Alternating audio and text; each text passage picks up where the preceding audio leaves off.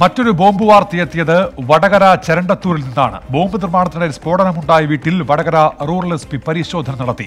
ഇന്നലെ വൈകിട്ടുണ്ടായ സ്ഫോടനത്തിൽ B J P പ്രവർത്തകനായ ഹരിപ്രസാദിന്റെ രണ്ട് കൈപ്പത്തികൾ അറ്റുപോയിരുന്നു. സംഭവത്തിൽ സ്ഫോടക വസ്തു നിരോധന നിയമപ്രകാരമാണ് പോലീസ് കേസെടുത്തിരിക്കുന്നത്.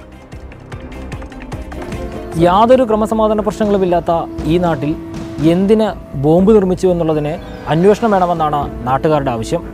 അത് അറിയേണ്ടത് ഈ നാടിന്റെ ആവശ്യമാണെന്ന് നാട്ടുകാർ കരുതുന്നു.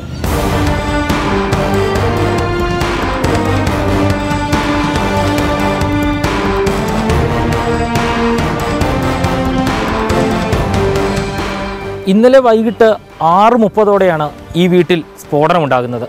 സ്ഫോടന ശബ്ദം കേട്ട് പ്രദേശത്തുണ്ടായിരുന്ന നാട്ടുകാർ തന്നെയാണ് ആദ്യം ഇങ്ങോട്ട് ഓടിയെത്തിയതും.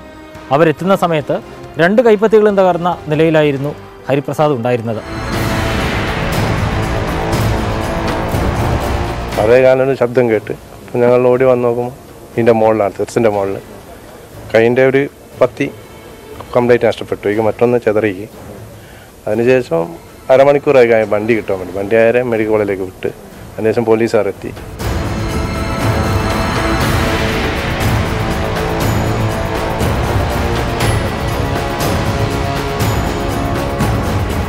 കൈപ്പത്തി തകർന്ന യുവാവിനെ ഇവിടെ നിന്ന് വാഹനം എത്തിച്ച് ആശുപത്രിയിലേക്ക് മാറ്റിയ ശേഷം നാട്ടുകാർ നടത്തിയ പരിശോധനയിലാണ് അഴിച്ചിട്ട നിലയിൽ കരിമരുന്നുകളും രണ്ട് പടക്കങ്ങളും കിടക്കുന്നത് ശ്രദ്ധയിൽപ്പെട്ടത്.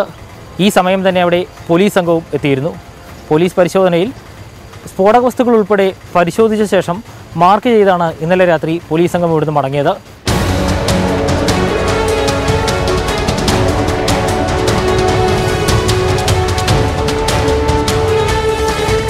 സെക്ഷൻ ഫോർ ആൻഡ് ഫൈവ് ഐറ്റോർ എക്സ്പ്ലോസീവ്സ് ആക്ട് ആയിട്ടാണ് ഇവിടുത്തെ ഒരു പഞ്ചായത്ത് മെമ്പറിന്റെ കംപ്ലൈന്റിൽ ഒരു കേസ് എടുത്തിട്ടുണ്ട് ഇവിടെ മൂന്ന് ഓലപ്പടക്കം ഓപ്പൺ ചെയ്തിട്ടാണ് കാണുന്നത്. അതിനർത്ഥം അതിന്റെ കരിമരണം അതിന്റെ എക്സ്പ്ലോസീവ് എടുത്തിട്ടുണ്ടാവും. പിന്നെ മറ്റൊരെണ്ണം എടുക്കാൻ ആയി- ആയിരിക്കണം എന്നിട്ടാണ് തത്കാലം നമ്മുടെ നിഗമനം. അത് മറ്റേ ആൾക്കാരുടെ സ്റ്റേറ്റ്മെന്റും വിക്ടിമിന്റെ സ്റ്റേറ്റ്മെന്റിന്റെ അടിസ്ഥാനത്തിലായിരിക്കും ഫൈനൽ തീരുമാനം.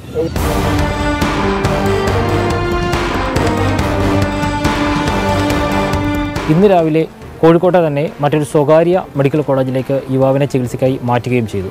ഇന്നലെ ജോലി കഴിഞ്ഞ് എത്തിയ ശേഷമാണ് ഇയാൾ മുകളിലേക്ക് പോവുകയും വീടിന്റെ മുകൾ വശത്ത് സ്ഫോടനം ഉണ്ടാകുകയും ചെയ്യുന്നത്. പ്രദേശവാസികളുമായി വലിയ ബന്ധമില്ലായിരുന്ന യുവാവ് എന്തിനാണ് ഇത്തരത്തിൽ സ്ഫോടക വസ്തുക്കളുമായി കൈകാര്യം ചെയ്തതെന്നാണ് നാട്ടുകാർ ചോദിക്കുന്നത്. B J P R S S ബന്ധമുള്ള യുവാവ് ബോംബ് നിർമ്മാണം നടത്തിയത് എന്തിനെന്നുള്ള അന്വേഷണത്തിലാണ് പോലീസും.